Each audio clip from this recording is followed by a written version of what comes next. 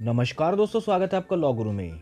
मैं अनुराग ऋषि और आज की इस वीडियो में हम बात करेंगे सीआरपीसी के अंडर चैप्टर थ्री, यानी कि पावर ऑफ़ कोर्ट्स के बारे में।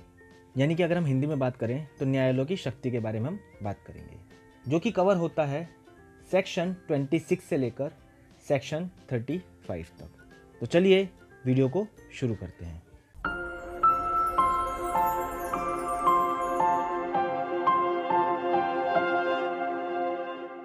पावर ऑफ़ कोर्ट्स जैसे कि हमने आप लोगों को बताया कि इस चैप्टर के अंदर सेक्शन 26 से लेकर सेक्शन 35 तक कवर होते हैं।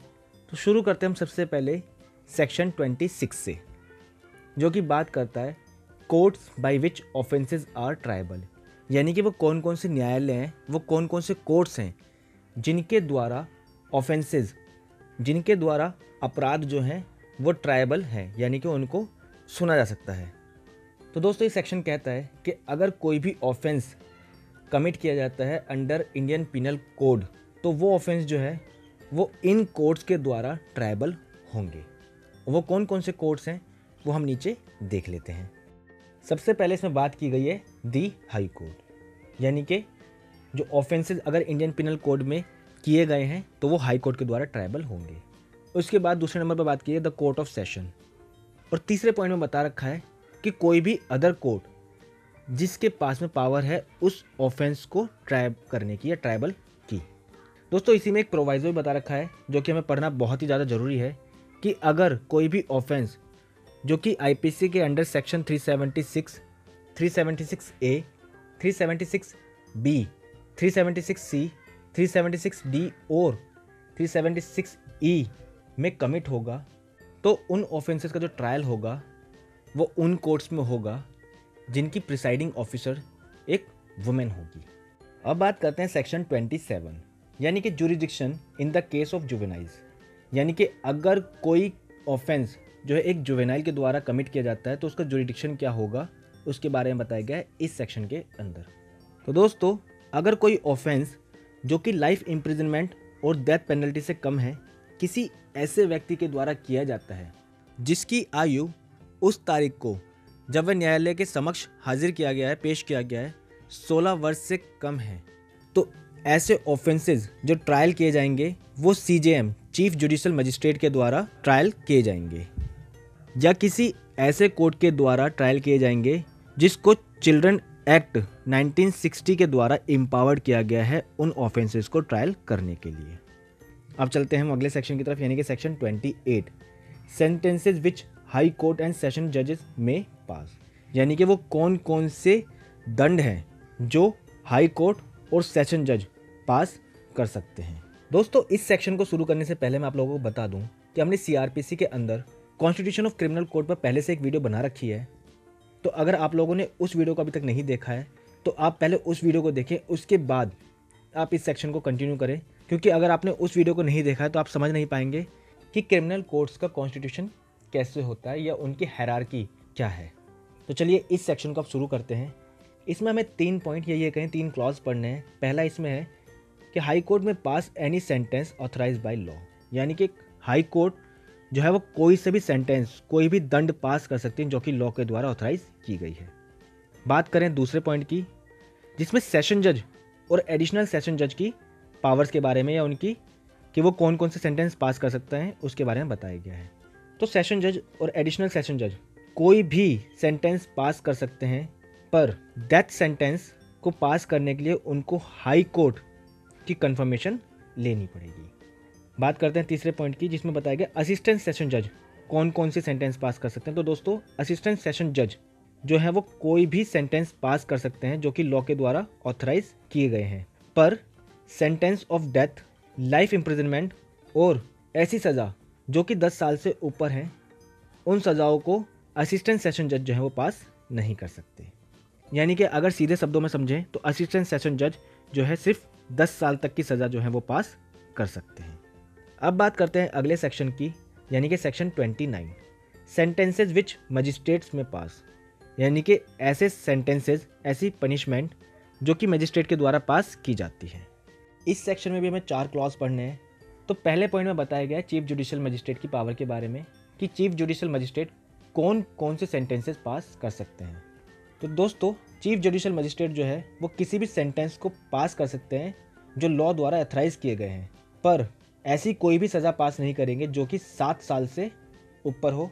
बात करें दूसरे पॉइंट की तो इसमें बताया गया है फ़र्स्ट क्लास मजिस्ट्रेट के पावर के बारे में। तो दोस्तों, एक फ़र्स्ट क्लास मजिस्ट्रेट जो हैं, वो ऐसी सज़ा जो कि तीन वर्ष से ऊपर नहीं होगी, वो सज़ा पास कर सकते हैं और फाइन जो कि दस हज़ार रुपये तक का हो सकता है या फिर दोनों।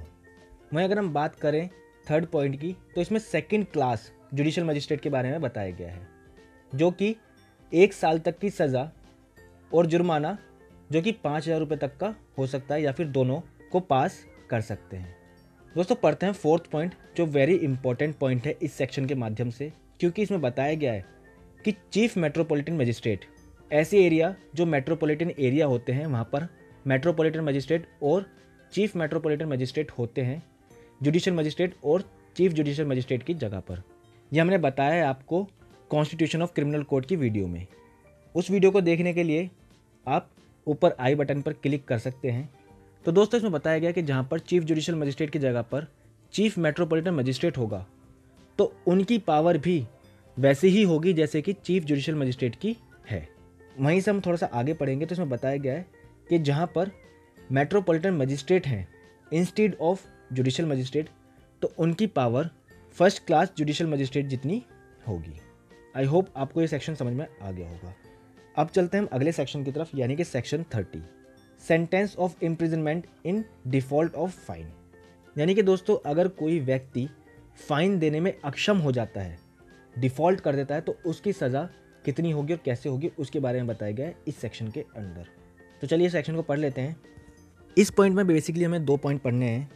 पहला, कि जो मजिस्ट्रेट है वो सिर्फ़ उतनी ही पावर एक्सेस कर सकते हैं जितनी कि सेक्शन 29 में डिफाइन कर रखी है। यानी कि सेक्शन 29 से उससे एक्सेस पनिशमेंट जो है वो मजिस्ट्रेट नहीं दे सकते।